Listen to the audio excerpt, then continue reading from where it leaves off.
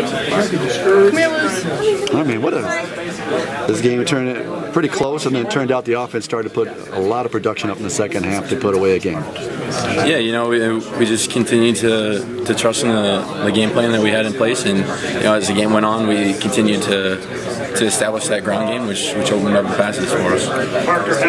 You and Easley seem to have a pretty special connection going on. He's had a touchdown. You guys have connected in pretty much every game for a touchdown this year. Yeah, I mean he's just a hard worker. He, I mean he has a knack for getting open. So you know, um, yeah, obviously he's a great player and he can make plays happen. So um, you know, obviously when he's open, I want to try to put it put it in his hands. And uh, you know, he's done a great job of getting open all year. Coach Morgan.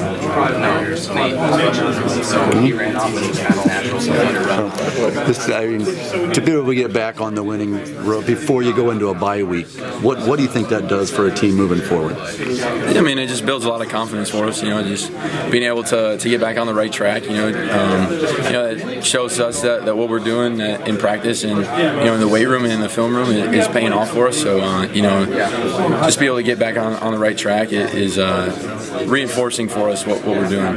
How do you feel for your defensive teammate to get back at first game in about six months and gets to rip one off to the house? Yeah, no, that's that's that's pretty special. You know, he, he uh, you know he busted his butt to get back and you know did everything he could for the team and um, when he was out and you know it, I don't think there's any better way for him to come back. And, you know, and, you know, it just shows how hard he works all the time. You guys.